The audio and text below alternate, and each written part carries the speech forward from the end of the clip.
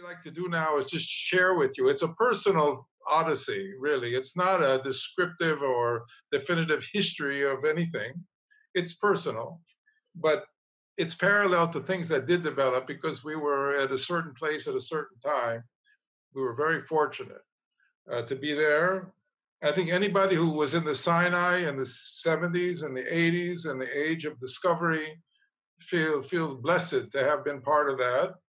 It was an area that, uh, which you'll see soon, which was relatively unexplored from the outside world, tip of uh, Israel and uh, the Red Sea.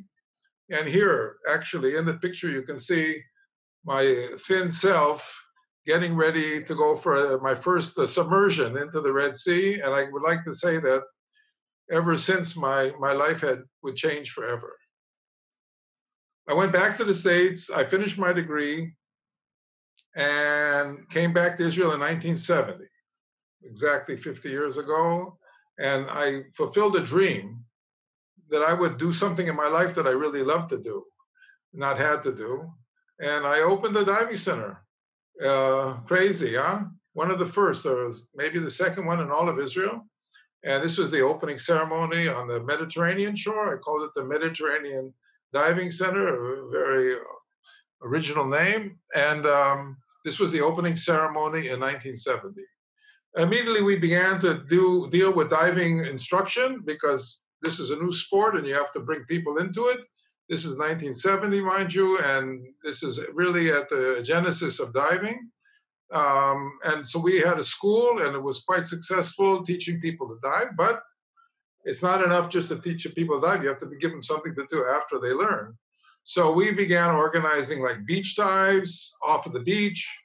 Not the best diving conditions in the world, I must say, and but I mean, good enough, and people were very excited at the time. And this was before really diving tourism took off. So just to get under the water, blow bubbles, and maybe see a fish or two, uh, that was exciting enough. So here we are on the beach. Um, I did have an opportunity to do a little commercial work, and I went out with some uh, investors who wanted to start a, a sponge business, like sponge diving. Um, they decided they wanted to do it in Gaza, because they thought it was closest to North Africa, Tunisia, where they had, or Egypt, where they had sponge, uh, sponge uh, industry. So they hired me to go out and dive looking for sponges. I was not so successful, truthfully, finding any sponges, but I was successful in discovering a shipwreck, which call, which was the discovery of the Farouk. The uh, Emir Farouk was the flagship of the Egyptian navy that was sunk in 1948 in the uh, war between Israel, Egypt, and the Arab countries um, by a human torpedo. Literally, a man went in the water and launched this thing into the broadside of the of the ship, and it sank. And nobody knew where it was, or nobody had dived on it, to my knowledge, until we found it uh, by chance. And um, so I got really excited. I contacted my friends and um, my colleague Pilo, who been diving with me for 50 years, and we went down. We organized a group to go down and dive and to photograph the wreck underwater. And this is kind of a cool picture because eh, those of you who know the Middle East now, this is June 5th, 1972, uh, 48 years ago. June 5th was the fifth anniversary of the of what they call the Six Day War, the war between Israel and Egypt, where Israel actually captured Gaza and the Sinai. So to show up at, at this day in 1972, exact that day, with a rubber boat to go diving was kind of bizarre, to say the least, if not downright dangerous. But here you can actually see me in the middle of all this, launching the boat off the shore. Anyway, beyond that, what was really happening, the story was the Sinai. The Sinai was just um, captured by Israel, like I said, in 67. For three years, there was a war of attrition along the Suez Canal, which you can see here uh, on the left side of the screen. And like nothing was really happening. But once it was over, the uh, and and there was a ceasefire, then um, Israel started to construct a road along the shoreline of the Gulf of Aqaba, which you see on the right here, I mean, or in the middle of this picture, on the right of the Sinai. And once that road was completed, uh, by the way, you can then all of a sudden go into the Sinai once the road was completed and see scenes like this, which were out of a thousand and one nights. This is the Bedouin of the Sinai in the beautiful landscape of the area, mountainous granite mountains, spectacular. Um, and these are the things that we saw on the first views. Um, we went along the coastline and about an hour's drive south of Eilat, which was the Israeli city in the, on the Red Sea, we went, uh, we, um, the, we set up our first base camp. Uh, uh, this was the construction camp for the people that were building the road between Eilat and Sharm. And once the road was completed, they left, and a group of young Israeli um, idealists uh, set up a cooperative, actually, like something like we call the Moshav, but it was uh, to for tourism though, and some agriculture at the using the same structures. And they set up a little uh, guest house there and we were needing a place to have a base for our customers who needed to do uh, open water work. So it was a perfect synergy, and we set up uh, we set up our camp here. We set up our base in a little shack on the beach, and this was our extension of our Mediterranean Diving Center, which is poorly named for the Red Sea. So we had to think about that soon. But this was our base here, and we did courses along the water uh, on the beach uh, here's a kind of a typical scene. Our students, our chief instructor, Zvika here uh, on the left, and uh, Bedouin walking by with a camel on the beach. So it was kind of, uh, um, say, extremes that we were had. But once we finished these things, we wanted to continue into the Sinai to explore more, to see more, to understand more. And we took this new road that was just finished deeper into the Sinai along the south. And the things we saw were spectacular and very interesting.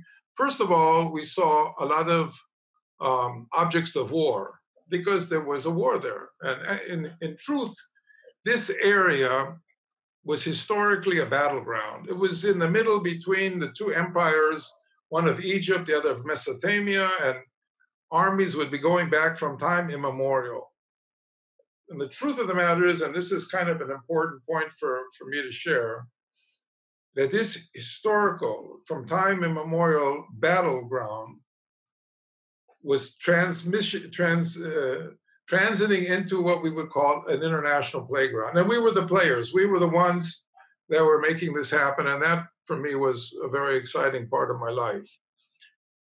At the southern tip, we came into a beautiful bay we call Marsa Breka and here we found literally four Egyptian tanks on the shore.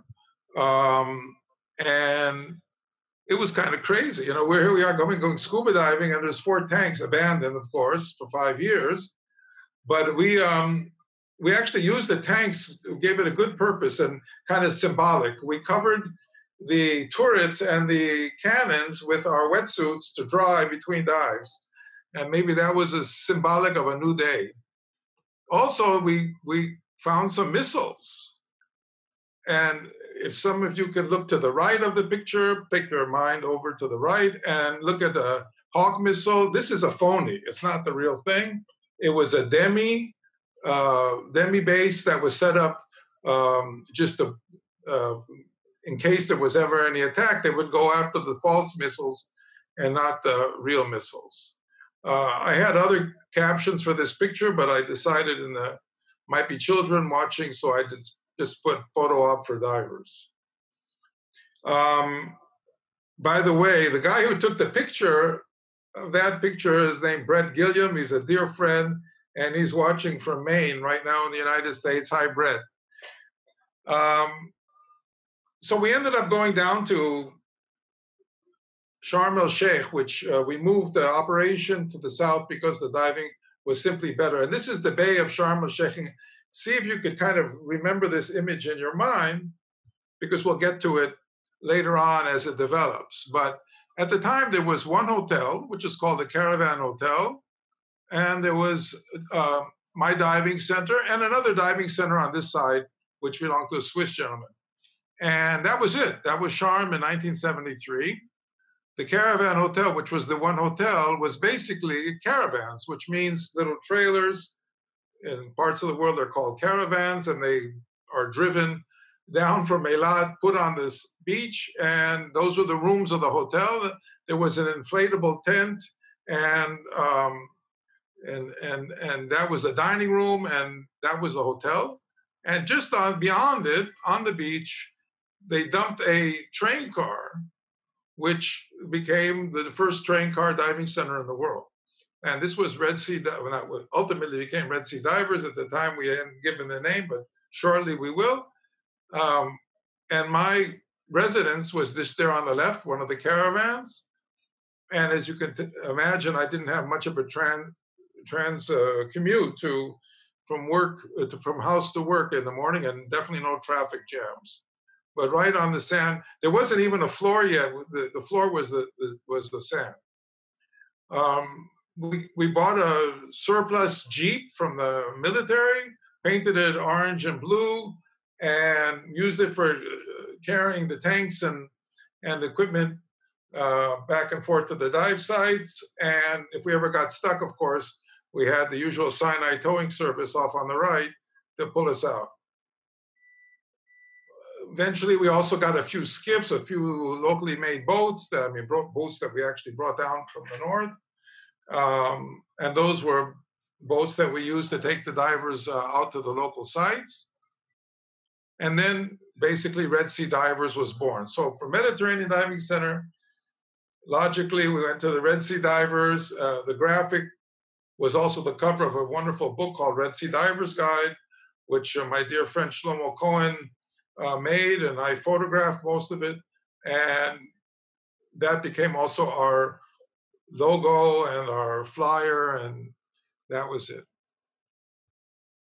In 1972, we had our first group of adventurous, maybe halfway crazy American divers who came from all over the United States uh, through a company called Bay Travel. They were the one of the pioneer dive operations. We worked with all of, eventually, all of the big uh, operators out of the United States, Bay Travel, See & Sea Travel, La Mer Travel, and my friend Amos Nachoum. But this was the first group. They came off the plane wearing steel helmets, thinking they were coming into a war zone, and it wasn't far from the truth. I think they were mostly overcome not only by the Red Sea diving, but also the spacious deck space that we had on our dive boat. It was room room galore. As a matter of fact, that was a cardinal rule in all of our operations in those years is to have plenty of room on our dive boats. No, no problem moving around.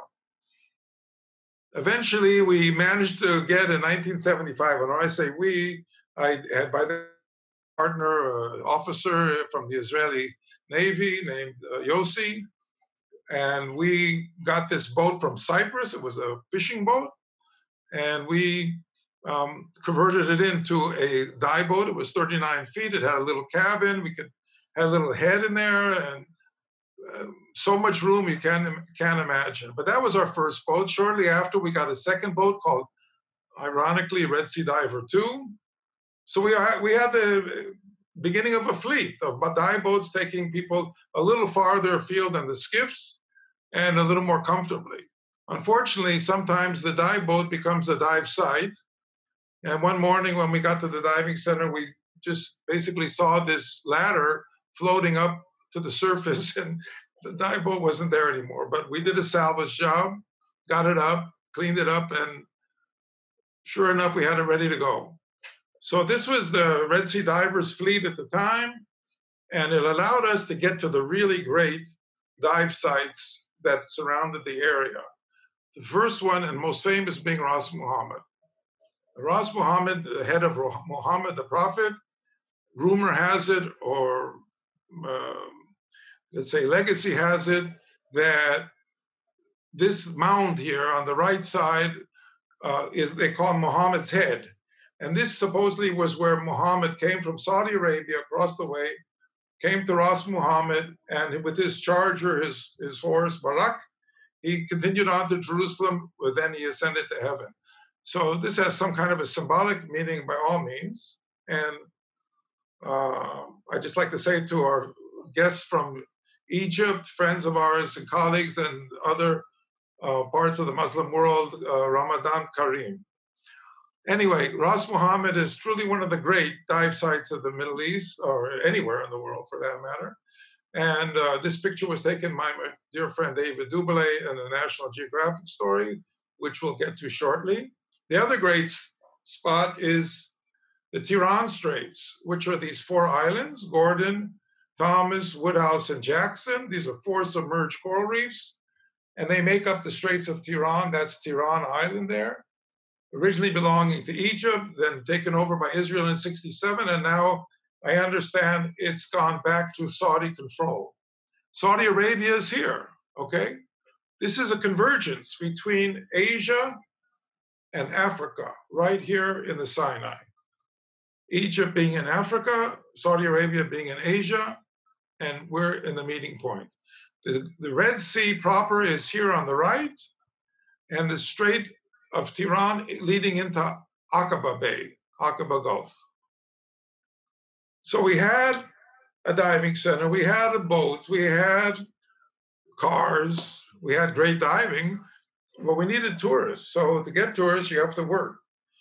You got to go and get them. So in 1973, Sharon, my wife, and I went off to the United States and Europe to do a marketing tour, first of many, many. I'm still doing them. And we were in Los Angeles and Long Beach, very close to where I grew up and we went attended a show. Now we got some support with the uh, Israeli airline, and we were able to put up a booth. you can even see a little carousel slide projector here with a screen. Unfortunately, the day before when the show began, a Libyan airliner wandered into Israeli airspace over the Sinai and um, was shot down. And that was the headline of the LA Times the day the exhibition opened. And it was really crazy. I'm just going to take a sip of something because my throat is getting a little froggy. Excuse me. Thank you. You think it's soda, right? No. Okay. So on this tour, I ended up in Boston at the Sea Rover Conference in 1973 and I was invited to speak there and make a presentation. Um, at this conference, the guest of honor or the lead speaker was Jacques Cousteau, my childhood hero. And I couldn't believe that I was following him onto the stage to give a presentation on the Red Sea. The guest of honor for the show was Dr. Eugenie Clark. Dr. Eugenie Clark was the shark lady, one of the most famous uh, scientists and sea people in the world ever, in my mind, and my mentor. And we met at that show with two young underwater photographers named David and Anne Doubilet.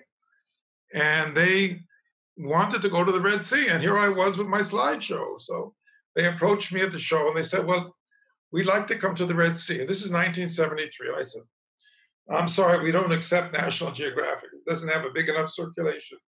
No, no, really. I said that, yeah, sure, why not? So they set a, a, a date for 1973. and unfortunately, in 1973, in October, there was another war. And that's kind of a story that we lived in this part of the world. Just as everything was looking great, boom, a war comes, and you're back to ground zero. So that trip was the war was the Yom Kippur War, by the way.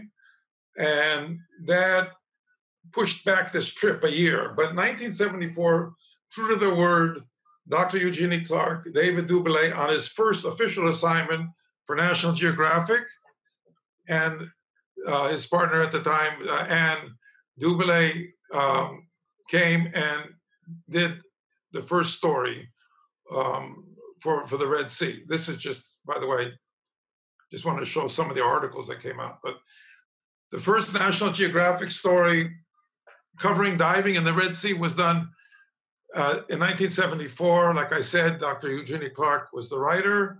Uh, David and Anne were the photographers.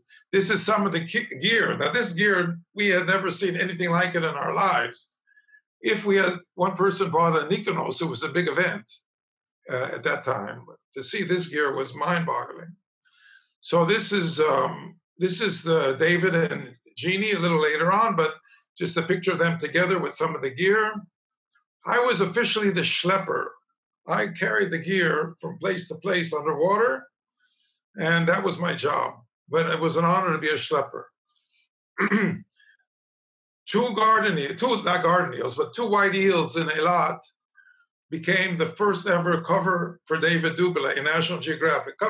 Consequently, David is the most successful, uh, prolific photographer, writer in the history of National Geographic. I don't know, he's probably got 70 articles by now, I don't know for sure, that he did, photographed and many written. But this was his first, and this was his first cover, and I'm very proud to have been part of that. Um, I'm part of it because I was a model in that story.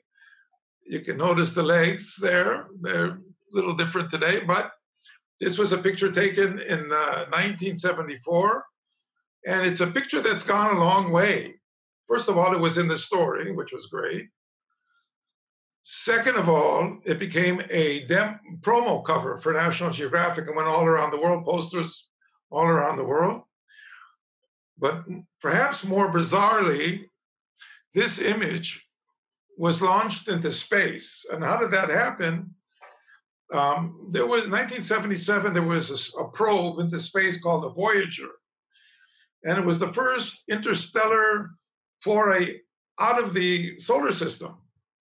And for that, they decided, I guess it was NASA, NASA, to put in a time capsule, taking stuff from the 1970s of, of the Earth, put it in a capsule and launch it, and whatever extraterrestrial terrestrial being finds it someday will open it up and say, ah, that was life in America in 1970. So there was an international competition for um, for something underwater. And they asked underwater photographers at the time to submit pictures. Well, David submitted the picture of me in the cave. And sure enough, in a book called Murmurs from Earth, which recorded this um, expedition by Carl Sagan, there, by the way, um, my picture is there because I'm in that time capsule, which means I am orbiting, right? I'm not orbiting. I was told now I'm in a trajectory. I'm not orbiting, but I'm moving past the solar system and into dark space where I'm going to live forever. So, coronavirus virus or no coronavirus, I'm out there floating around. And that was 1977. Sorry. Um, another thing that came out of that, that wonderful trip was David handed me a camera because I, I dreamt of having an underwater camera. And after three months of diving night and day and day and night and whatever, David handed me a Nikonos, which was like a Mercedes for me, and said, Why don't you start taking pictures? Here's a bunch of film, take pictures. You're here. But first, take a picture of me because Camera Magazine wants a picture of me. So I took a picture of David at a cave, and that was it. I forgot about it. Six months later, I get a telegram because they were using telegrams then, and it said, Congratulations, you have the cover of Camera Magazine, and there's a check for $500 on the way. And I said, This is a career calling. You know, I don't want to tell you how many years it took me until I had another cover, but that's beside the point. One second, a drink. Sorry anyway, this was the first story of many. We I think we did seven or eight stories together, mostly in the Red Sea. Dr. Eugenie Clark, David, and my friend David, dear friend David Friedman, uh, the naturalist from Eilat, came down to join us, and we did many stories. This is one about ecology. it's one about sharks. It's one about preservation of sharks. Today, it's getting more fashionable, and, and rightfully so, to talk about shark protection, shark conservation. But this is going in back into the 1970s. There was some people that were actually catching sharks in the Red Sea, and we wanted to expose that. So I took this picture of Jeannie, the shark lady on the left, David, the photographer on the right. photographing sharks on a hook. Very sad. Also, this picture of Jeannie, who was quite petite uh, next to a hammerhead shark. Anyway, we managed to succeed. And with these pictures and with that story, we got um, that, that shark operation kicked out. This was the story that came out in the sharks, magnificent and misunderstood. Also, another story we did was called Flashlight Fish. These are little lights like fireflies that light up in the sea, fish that light up in the sea. And this was one of several stories we did together. This connection with National Geographic and this team was uh, immensely important to us. It gave us the, the ability to, you know, be in the world. You know, we were a bunch of kids out in the, the desert, you know, and here we had these great artists and scientists working with us. Anyway, through the work of the hard work of the, uh, the Nature Society people, of the Sinai, um, and the understanding, I must say, of the government, they set up uh, nature reserves all along the Sinai, and Ras Muhammad being the, the key one, where they prohibited shell collecting, coral collecting, fishing, anything that would harm, uh, leave footprints, and not anything else. Um, and I took Jeannie to see this at the time. Jeannie never forgave me for this picture because I'm like lecturing her with my finger. I don't, not being very di- diplomatic. But with all of this action and and activity, and uh, National Geographic, we we got the attention of the world, and film teams and and our um, other photographers and writers wanted to get bound, and uh, we were contacted by the publisher of Skin Diver magazine, which was the leading magazine in the diving world at the time. Paul, Paul Tzimoulis was his name.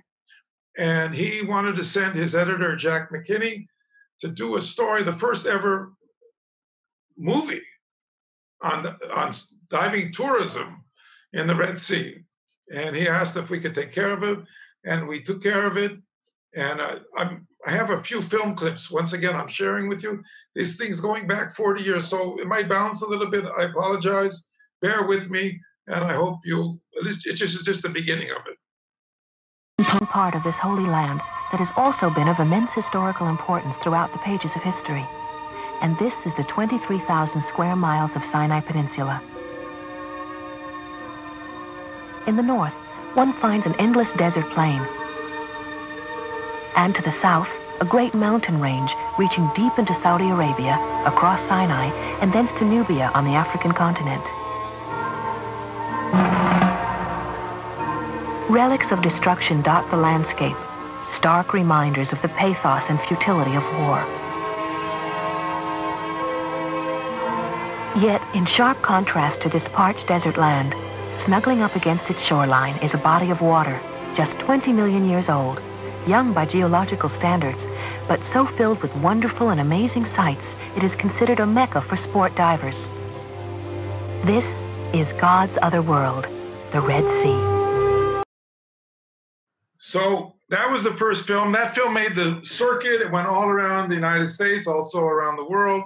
And it was a big boost for diving tourism into the Red Sea, I'll say. Um, it was also very helpful to have other points of interest and beauty in the Sinai uh, for the tourists to visit. So one of the main attractions was St. Catherine's Monastery. It has an amazing history going back to the seventh century, but um, the mother of Constantine, Helena, uh, converted to Christianity and set up this monastery the, at the base of Mount Sinai, biblical Mount Sinai.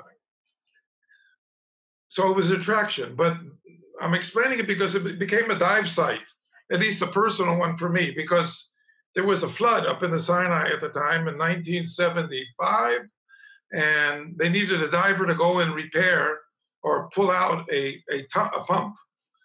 So the pump was in a well. The well was giving fresh water to the monastery and to the ranger station there and they needed a diver to go go down there and cut the lines of the well, uh, the pump, and and extract extract it.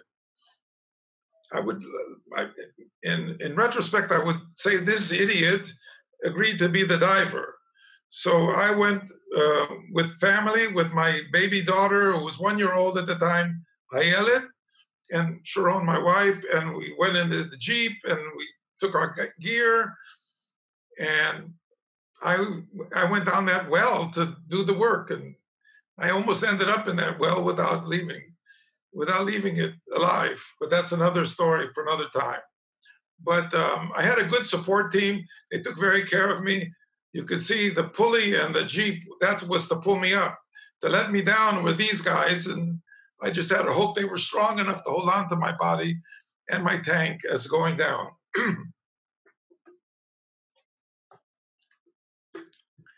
anyway, we were successful. The pump came up. It's next to my left leg here. But mostly the success was my technical support team here.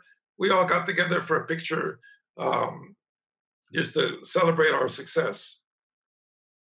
Shipwrecks. Shipwrecks, they're one of the more wonderful things in the diving world. They're a time capsule. Depending when the ship went down, you could discover things about them, how people lived. Um, but also, they're immensely beautiful because they become a base for life fish life, coral life. But we had a problem in the Red Sea at the time. We didn't have a shipwreck. Um, there was a movie called The Deep, which had just come out about um, in the Caribbean. It was an old story. Beautiful Jacqueline Bisset in a wet T-shirt did wonders for tourism and diving. The uh, the Rhone wreck in uh, in the Virgin Islands. We didn't have that, and we were going crazy. All of our wrecks at the time were going up on the reef and sitting there, and sitting there for years until they just uh, became, you know, fossils like you see here. An early wreck, a steamer that had sunk, that went aground, and I think in the late 1920s, and that was all that was left of it. Now these ships look very similar because they're just skeletons. The sea is very fierce. And we needed a real shipwreck because we wanted to advertise the shipwreck. So, first of all, some of them partially sank. This is the Yolanda at Ras Mohammed. We were sure we were going to get a treasure there. The biggest treasure we found were toilet seats. And Genie Clark sat on one of them for this uh, photo op. She's not the first and probably not the last. Um, but we needed a real wreck. And we were getting desperate. We even made up a story. We we comprised the story, and the story was ready before the wreck was found because we wanted to bring tourism. Sorry. So we made up a story about Lawrence of Arabia and gold and treasures and the whole thing, you know. And we didn't have a wreck, but we befriended the Bedouin fishermen who were working that area and they told us about what they think might be a ship at the base of the reef out in the Suez. And I said, Well, can you, where's the chart? Where's the map? What chart? What map? They said, Go around the corner, Ras Muhammad, head into the sunset, and smoke two cigarettes, and you'll see a reef in the middle of the sea. Go to the end of the reef and go in the water. So the first problem was I used to smoke a pipe. And then I had to do a conversion. Two cigarettes, one pipe bowl. How does that work? Eventually, we went out there, a group of Americans, and I told them we're going on an exploration dive. And lo and behold, following his instructions, as we got out into the Suez, at the far point on this horizon, you see a reef. And as soon as I got there and I jumped in the water, it was a, I found the ship, a ship. We didn't know the name of the ship at the time. We found out later it's the Dunraven. And subsequently, we got everybody excited because we had the, we had the story. It wasn't exactly the right story, but we had a story and we had a wreck. Uh, we, we convinced the BBC to come out and do a BBC special on this wreck. And mind you, this is just the beginning of the what became known as the peace process between Israel and Egypt. So there was behind the scenes things going on, meetings and discussions and even signatures, which would ultimately return the Sinai to Egyptian uh, sovereignty for peace, something that we believed in. Very important. So I'm going to show you a little clip that was shot at that time by BBC about the Dunraven wreck and some of the action that was going on at the time in real life. It's, it's pretty amazing. And also some of the tensions too. So there's going to be one wreck, one clip after another. There's no time to waste. The waters where the wreck lies, beyond Ras Mohammed Point, may soon be handed back to Egypt, and word that the wreck may be Lawrence's gold ship from 1917 is luring other divers from as far away as Germany and Sweden.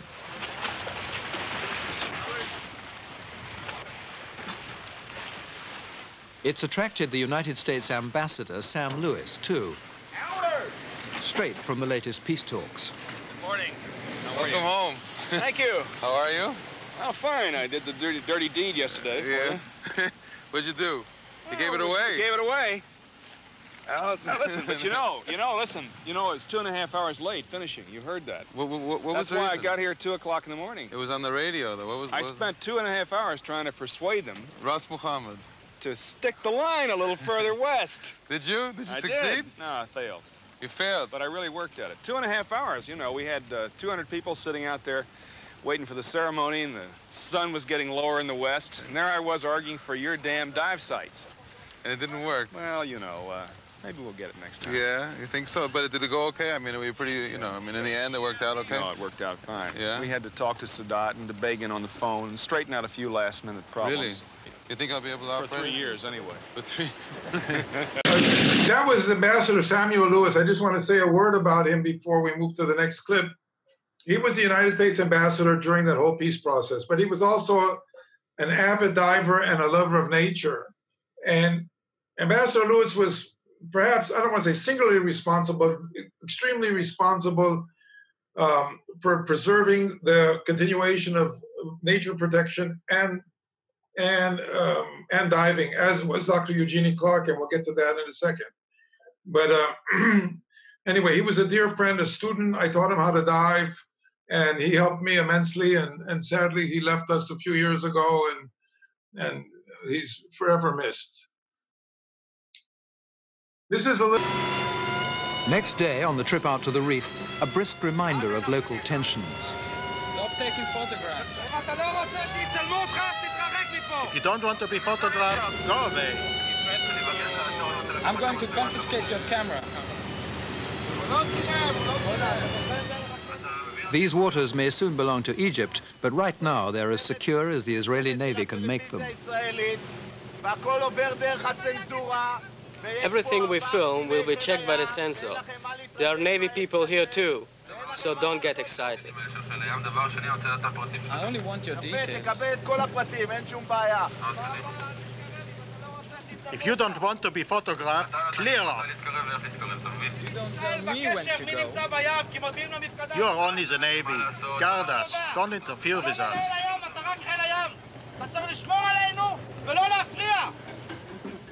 Speer thinks the Navy are overdoing it, and he points this out to them. I personally will see you get into trouble. It looked like a nice, peaceful area, but it's full of action. Lawrence was a spy. They thought that we are spies, you know, all the time.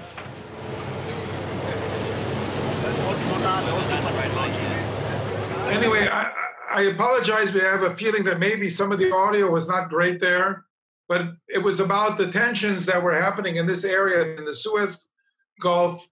There were people that were determined to, to um, uh, how would you say, sabotage the peace process, and there was terror, um, threats of terror, and the Navy was there to protect the area, and we were showing up there um, looking for shipwrecks, and sometimes there was a little tension, but we got over it and we moved on, as we always do.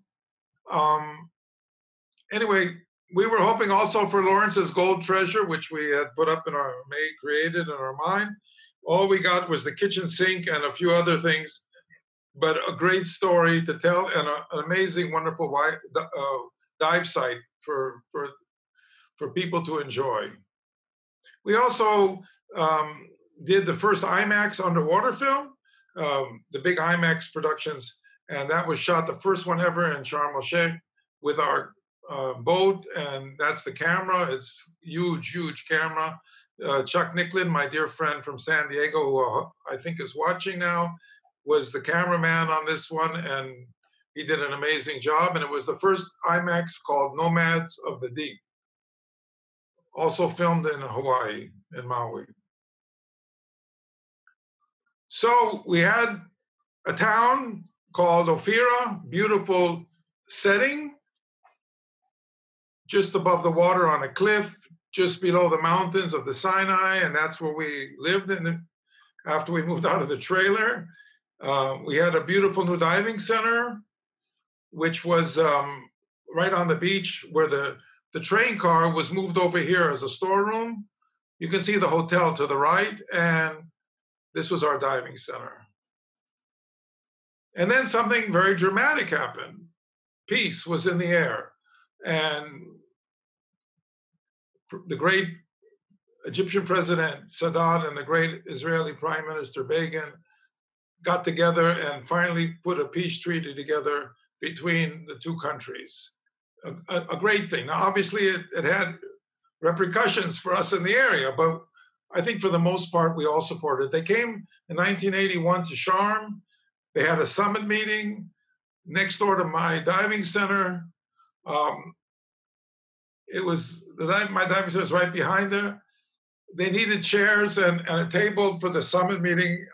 It's almost embarrassing to see them sitting, these two great world leaders sitting on my straw chairs and and at, on the table there. But that was the Sinai. It was pretty funky.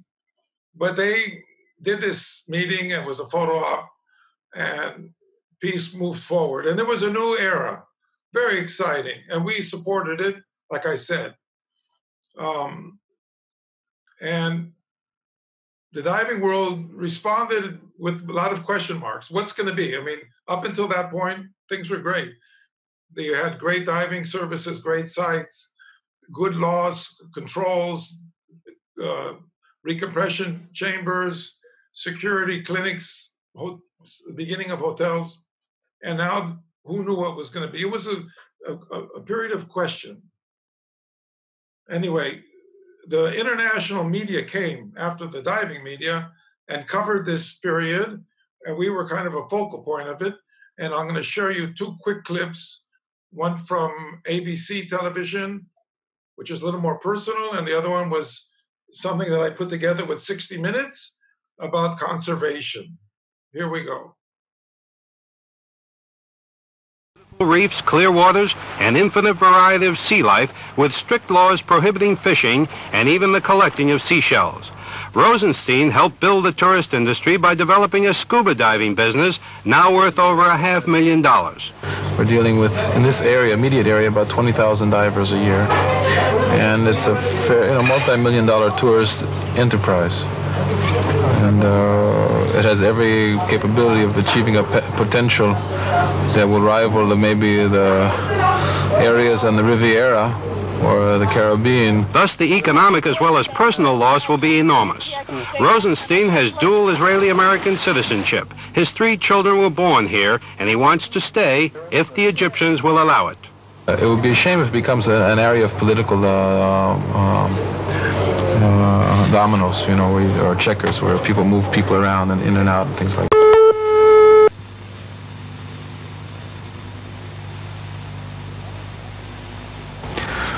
There aren't many places in the world you can slap an air bottle on your back, go down 30 feet or so, and watch the sharks go by. In fact, just about the only place you can do it with some hope of living to tell the story is in the Red Sea off Ras Mohammed, the southernmost tip of the Sinai. And even here, divers are afraid they might not be able to do it much longer. The sharks living off the coral reefs here are among the most accessible in the world to scientists, to photographers, to intrepid divers, Up until now, at least, they've been very friendly. But this whole area, all of the Sinai, is in the midst of a political transition right now, and believe it or not, the sharks are caught up in it. For the last 12 years, the sharks have been swimming in Israeli waters. They're about to become Egyptian. Anwar Sadat is gradually regaining control of the entire desert and its territorial waters. Israel is giving up what it conquered by force and what it learned to love and protect. The Israeli occupation may have been controversial politically, but ecologically it was a masterpiece. The Israelis set up nature reserves. They passed and enforced tough legislation protecting wildlife on the sands and in the sea. As Americans were instrumental in orchestrating the peace between Egypt and Israel, Americans are getting involved now in pressing for continued conservation, particularly of the magnificent coral reefs off Ras Mohammed. Marine biologist Dr. Eugenie Clark, professor of zoology at the University of Maryland, is spearheading a campaign aimed at convincing Sadat that what he's getting under these waters is worth taking care of. The Egyptians don't have a, a, conservation program developed yet. They are very much aware of the problem and they're starting to develop it, but they're like just infants in this field, and the Israelis have really worked out all the problems. They don't allow spearfishing, they don't allow um, any abuse of the reefs and marine life.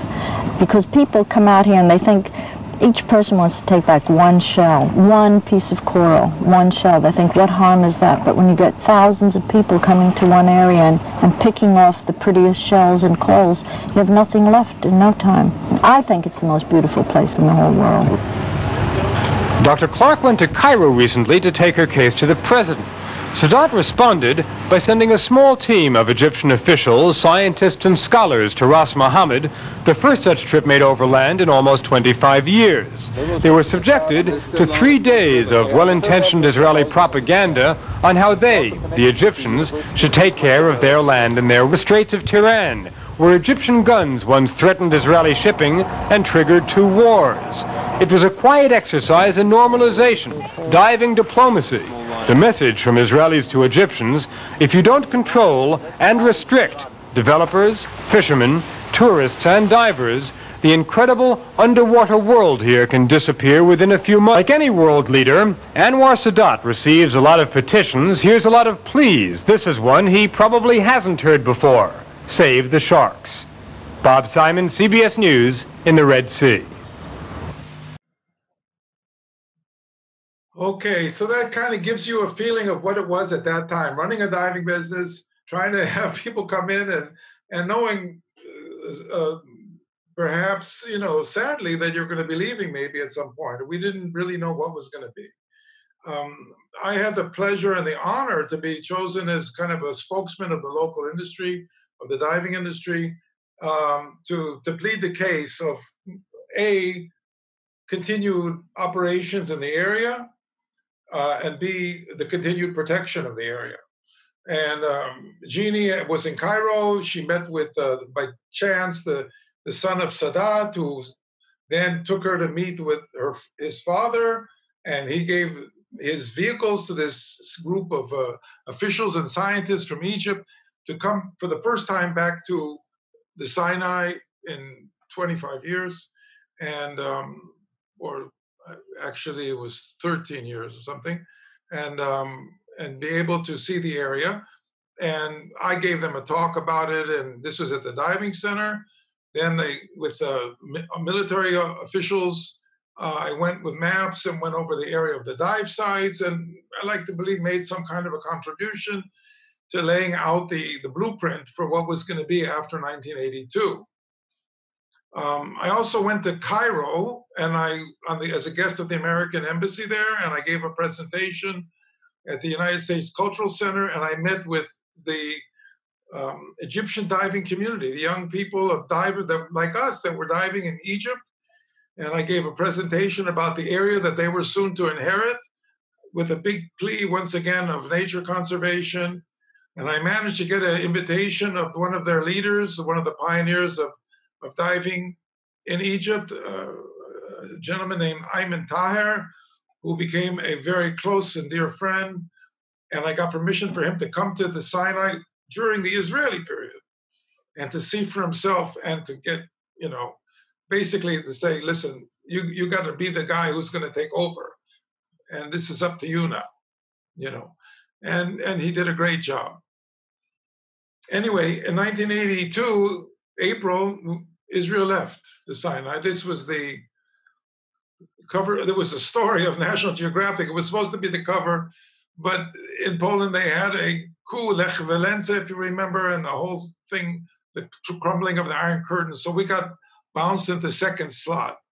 But in the article, they talked about, first of all, something very significant and symbolic was the taking apart of the military bases that were Israelis had advanced uh, air, air, air force bases that were taken apart, that part of the peace. And that's beautiful. They also covered my diving center and talked about me and my family. So there's the diving center in the middle of the picture here. Take a look. There's Israeli soldiers still protecting because there were still threats of terror. Look at the mountain here in the distance, and that's the bay and the beach. Pretty empty. Later we'll visit it and you'll see what's happened since. This is a family portrait of uh, Sharon, my wife, and two of our three kids at the time. We now have four. Um, snorkeling at, at one of the reefs. And it's packing up and moving out. That was the military base of Sharm. Ras Muhammad was here. Every morning I'd sit, stand next to this wall and drink coffee. And now we were going to be leaving, and we didn't know what was going to be, really. But we had hopes that we would be able to return.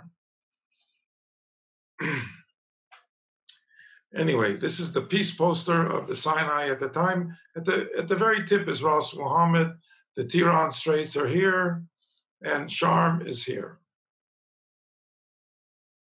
I decided to give it a chance. I went to the States. There was a DEMA show at the time. and I was actually in Texas. And I was interviewed and by the local paper. And this was the story of me trying to be able to continue operation in the Sinai. Okay, now I have a, I, I'm throwing out a theoretical question to you. It's, we're about an hour into this thing. I have more to do. This is like phase one, Red Sea divers in the Sinai. I go into phase two, which is Fantasea cruises and my liveaboard operations all over the Red Sea. And if if it's okay, I'll continue. But I just, uh, Elon, what do you think? Should we do it another time or continue on? No, no, you can go ahead. I think it is uh, so interesting that you can uh, simply do your thing and everybody will uh, listen. It's amazing, Aaron. Okay. Is that okay? I hope so. I also apologize for my throat. I have a little bit of a froggy throat tonight. Um, and I'm not going to stop talking. Okay, so the next phase is moving from a land-based operation in Sharm el Sheikh and in Eilat, where I had a diving operation, to a liveaboard diving operation, which we named Fantasea Cruises. And that began in 1983. We wanted to make a fantasy of the Red Sea, so to speak. Um, I bought an old mo- uh, motor yacht, uh, wooden teak yacht, which we named Fantasea One. This is a shot of it in one of the more beautiful spots, the Marsa Baraka. Remember where the tanks were in the beginning? That's the same place. Beautiful place. Um, and a few years later, actually 10 years later, I bought the second vessel called the Fantasea 2, which is um, probably it was at the time one of the most luxurious, if not the most luxurious, liveaboard uh, boat working in the diving industry. And um, we were very, very proud of it. It was uh, 115 feet, 35 meters, ocean going, um, very, very comfortable, as you can see. We needed a big crew. It was a big boat. You can see we had like nine crew for 12 guests. It was like Monaco divers taking people diving like five star. Uh, very different from the, the beginning days of, of Fantasea um, or Red Sea divers or whatever. This was the owner's cabin. of a liveaboard dive boat. Um, one of the groups was led by a guy named Stan Waterman, one, one of the greats of the diving industry, pioneer. And he brought a group over and he ended up in the owner's cabin. And I asked him the next morning, so Stan, what do you think of the of the owner's cabin? And he said, Howard, it's embarrassingly luxurious. And I always enjoyed using that quote. Also, the food we were very proud of. We had great chefs. This is Netta, who was with us for many years. And basically, you know, the choice at the time was lobster or fish, uh, strictly kosher, of course. Um, we actually probably are the first liveaboard or ever maybe that got a write up in Gourmet magazine. The Patricia Wells, who was the food writer for the New York Times, uh, International Herald Tribune, and Gourmet, was on one of our trips and just was blown away by the food and sat with Netta every evening writing down recipes and came out with an article about the food on the fan. Sometimes the food was so good that the guests didn't even have strength to go diving after that. So they just, they just uh, chilled out on the deck. With these larger vessels, we were able to go farther afield. This is now we're going into the 1990s. So, you know, we started with little a jeep and a little boat just diving around the bay. Here we're going deeper into the Red Sea, southern Egypt, some of the great dive sites in the world. The Brothers Island, this is 1991, 1990. Uh, Daedalus Reef, another submerged coral reef in the middle of the Red Sea. Just a lighthouse there. Um, that's it. But the diving spectacular. Zabargad Island, also just uh, near the, the border with um, with Sudan, and also amazing diving. as we got more adventurous and all of a sudden also something happened in the region it was called the gulf war and tensions were very very taut again like a roller coaster and the egyptian uh, air force came by and literally was harassing our boat off of one of the dive sites and actually coming into one of the sites um, we actually encountered gunfire, and yours truly was arrested and brought to the shore. Um, where I'm here actually under speedo arrest. Um, luckily, I was able to grab a, my little radio and notify the ambassador, get the word to the ambassador up in Tel Aviv, and he got to the ambassador in Cairo, and within a few hours, I was back on the boat, but it was a little tense. We decided to go farther afield. If things were tight there, we thought maybe going south, we could find more interesting diving and be less hassled. And I convinced once again the Doubilets to, to, to make a trip down the entire Red Sea. This had never been done before. To start in the north and go all the way through Bab el Mandeb Straits into Djibouti, diving all the way. And we call that the Rainbow Expedition. And it was unique of its kind, starting up here, Eilat, Sharm el Sheikh, going along the whole Egyptian coast, along the whole Sudanese coast, past Eritrea, and coming out in Djibouti, diving all the way, and sometimes in Yemen and sometimes in places we shouldn't have been. But it was very exciting, very successful until we hit a bad storm.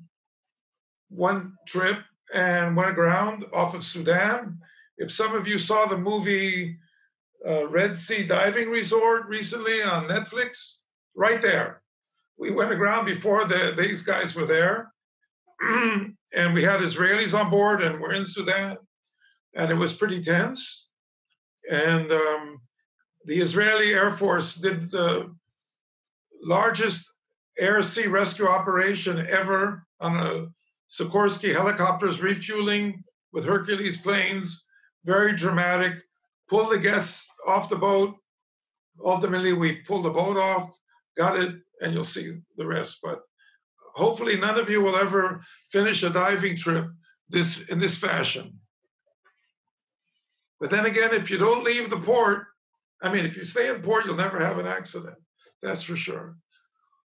We were part of a pioneering operation, and today people are diving there all the time. So we had a trudge back to Haifa. We got the boat into the dry dock, um, a massive repair job, um, and got the thing as soon as we can. We got back in the water. We had a big assignment coming up in National Geographic in the Seychelles, and we made the long trip all the way down the Red Sea once again through the Straits of uh, Bab el Mandeb into the Indian Ocean, diving in Socotra Island, and then down to the Seychelles, which became for several years a base of operations for us during the winter months. And we, we learned to love this beautiful area.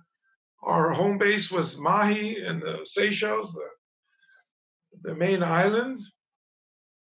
There's a fantasy, a little different uh, scenery than what we had in the Sinai. Amazing blue, cobalt blue waters, beautiful beaches. The main islands where the diving was nice. It was not Red Sea diving, but if you got farther away, farther and farther away into the atolls, the um, volcanic atolls, not the granitic, granitic inner islands, you found some world class diving. And so we proposed to open up an operation at a World Heritage Site called Aldabra, one of the truly great places in the world. I can't say enough about it, and I won't talk that much more about it, but I'll show you just the beginning of a clip that we did. This was made by John Boyle, a dear friend of mine, who came out with the National Geographic expedition led by David Doubilet to do a story about this unique and remote place. Remote being a thousand kilometers, 600 miles away from the main island in the middle of the Mozambique Channel, just above Madagascar. We used um, initially, by the way, before we did this, the plane of the president of the Seychelles just to do the survey. And this is the lagoon, the world's largest coral atoll, right in the middle of the Indian Ocean. This was the team that did the job. David in the middle there, I'm over here on the left, and some of the world's best underwater photographers uh, were on this trip. This was the story in National Geographic, and this is the video.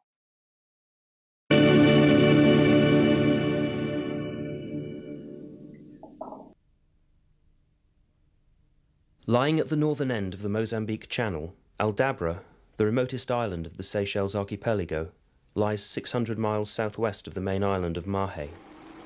Our vessel, the Fantasea, a specially equipped dive boat purpose built for expeditions of this sort, and usually based in the Red Sea, has already made the arduous journey down the East African coast to Port Victoria to refuel and take on supplies for the final leg of the expedition. On board is a team of some of the world's top underwater photographers and writers who aim to become the first to explore and record Aldabra's unique underwater mysteries since Jacques Cousteau visited the atoll 40 years ago. The only port of entry to the Seychelles in order to comply with immigration formalities is Victoria, on the main island of Mahe. Howard Rosenstein, the owner of the Fantasea, obtains port clearance from the harbour authorities at Victoria, and we prepare to cast off. On board, the crew carry out their last minute preparation for this five week exploration and the expedition members carry out last-minute equipment checks. David Doubilet, National Geographic's underwater contract photographer, has travelled to many of the world's most obscure. So we were in the Indian Ocean. We were working off of Aldabra. We did it for seven years. It was some of the most exciting times of my life, I must say. And I yearn to get back there someday. We had some other bizarre um, expeditions that we did. One of them was uh, with a group called the Century Club. These are people who are in a club that basically collects stamps on their passports, going all around the world to the most exotic and remote places. And the, the countries they visit are, have a, a, a, rating, a number, one to 10 or something. The, the hardest to get to and the most valued is the British Indian Ocean's territory, a very remote speck in the Indian Ocean where Diego Garcia is located. That's the big American base, but you can't go there. But these three people were willing to pay all money to be able to have their passport stamped by our captain. They went three days from the Seychelles into terrible seas. They were in their rooms, they hardly even ate. They got to the island, they went ashore. We took out our finest plastic cups, poured sparkling wine into them. They took a drink. We stamped their passports, took the picture, and three days back, I, I don't want to tell you how difficult it was for them, but they got the stamp, and at the next convention of the Century Club, they were the stars. Another kind of neat project we did was with BBC in Madagascar. Um, we took the boat there from Aldabra, wasn't that far, to the north end of Madagascar. Very beautiful area, very um, remote. The town is called Hellville, and sadly, it's very similar to the name. But we had to go in there for port clearance, and then we picked up a very famous actress and the team, the film crew, Joanna Lumley, British actress, uh, star of Girl, a star of uh, Ab Fab and Avengers, and this series was going to be called Girl Friday. It was a takeoff on um, Robinson Crusoe. She was going to be shipwrecked on this remote island off of Madagascar and surviving on her own for a week or so. And they used our boat as a base. And this is Madagascar. This is a small island called Tsarabanjina. I'm convinced that nobody had been diving there before us. Maybe I'm wrong, but I'm pretty sure. So while she was on the island surviving, we were off with the dinghy diving and having a hell of a great time. Anyway, at this point, we decided to go back. We had to go back to the Red Sea and see what was going on over there. We were surprised what we saw. After a few years, things really took off, and uh, hundreds of dive boats, hundreds of hotels, literally, were in the area that we had left years before. And if you remember this picture from 1978, the Bay of Naama and our diving center, 20 years later, it looked like this. And that's 23 years ago. And I must tell you, it's much more developed now. Sadly, going through very difficult times because of obvious reasons. But we figured that was about it for our type of operation. We were a cutting edge operation. We weren't, nobody was going to come on the big luxurious liveaboard and have five day boats anchored all around them. So, in a sense of deja vu, I headed back from the Red Sea to the Holy Land, uh, like one of my forefathers, and started looking for a new life. The days of liveaboard, the days of diving centers were over for me. I wanted to spend more time with my family also. I had now four children, and I decided to look for other projects. One thing I did briefly, but I'm very proud of, was led a group of people who created and developed and patented a new diving mask called the Pro Ear, which seriously protects the ears of many divers and saved the diving career of many professional divers. I'm very happy about that. Shortly after that, I began a new project, this time with my eldest son, Nadav, called Fantasea Line. And this was following a passion of mine of underwater photography. And this was to create and make affordable underwater photo products. Up until then, up until the digital age, underwater photography was a very elitist thing. It literally cost thousands of dollars to be properly suited for underwater photography.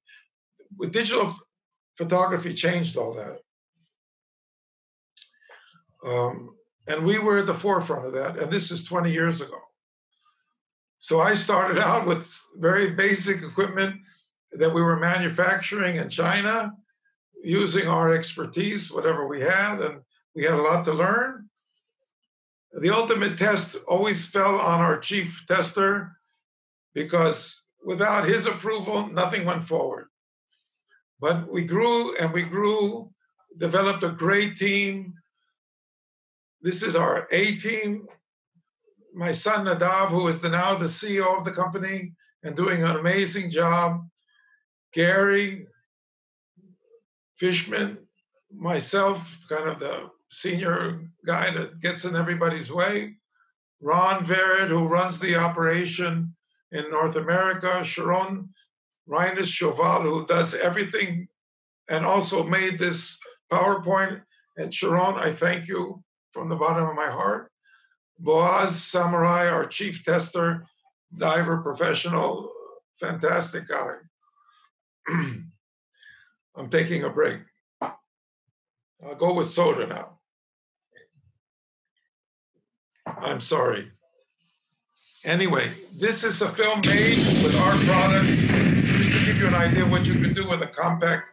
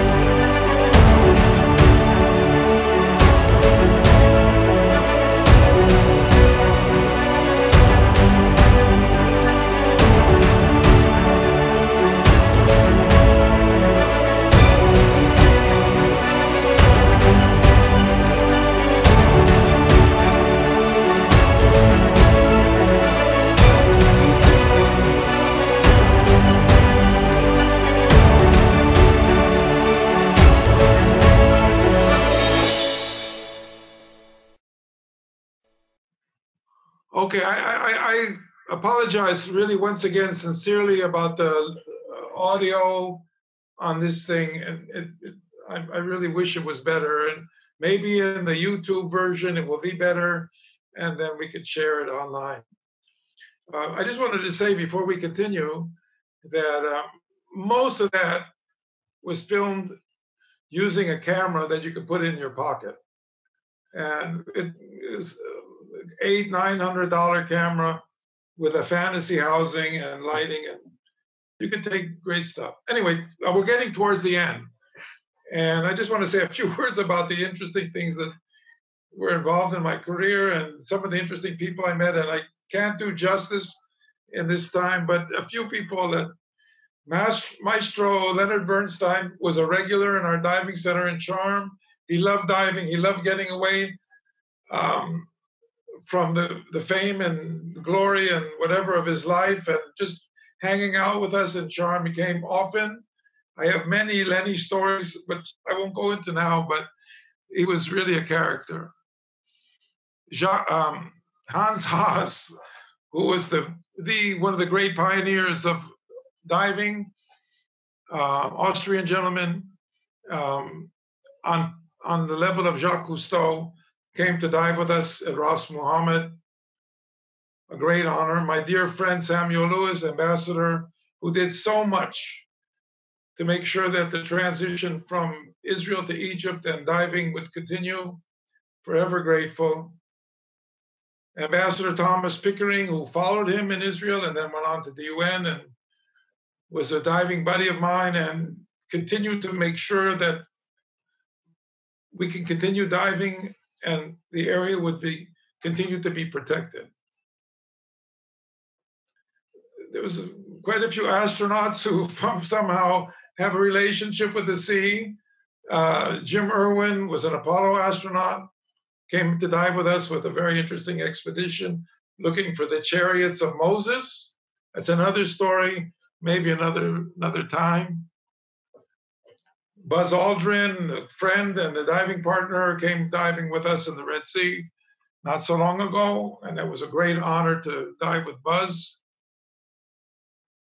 Barbara Walters, newscaster, TV personality, came out to dive with us.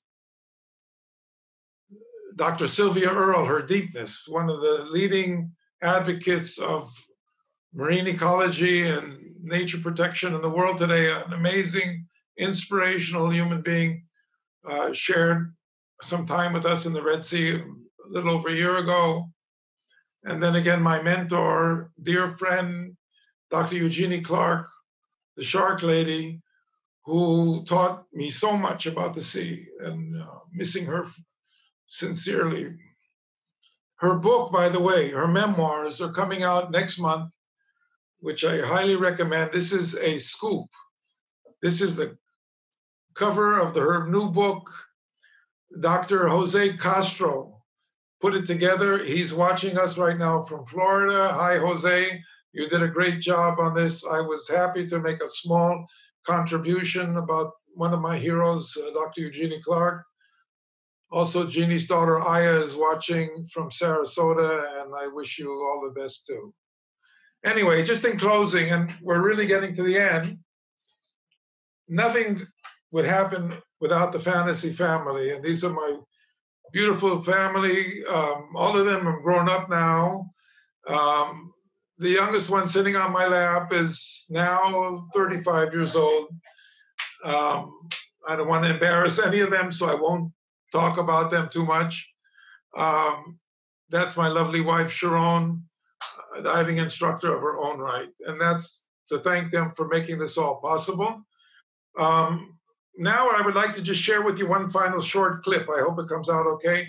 In in 2009, I was inducted into the International Scuba Diving Hall of Fame, a great, great honor uh, because it's selected by peers, and this is for my contributions for diving tourism into the Red Sea.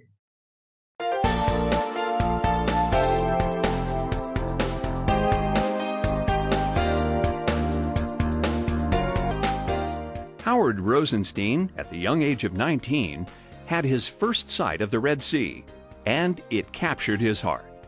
By 1970, he and his wife, Sharon, opened their first dive center along Israel's Mediterranean coast, followed by one of the very first diving operations along the Sinai coast of the Red Sea.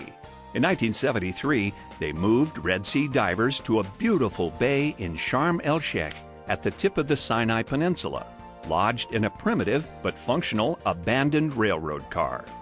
Howard led divers from the entire world, transporting them in Army surplus jeeps and small boats.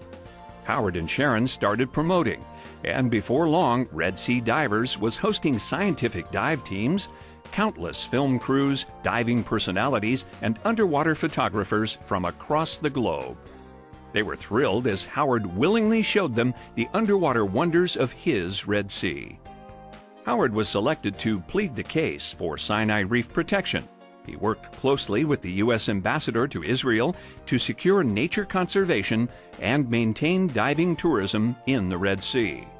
When Israel withdrew from the Sinai in 1982, Howard and Sharon moved on to establish Fantasea Cruises, the first liveaboard operation in the Red Sea. Rapid success and expanding interest in Red Sea diving prompted Howard to purchase the larger, luxurious Fantasea II in 1990.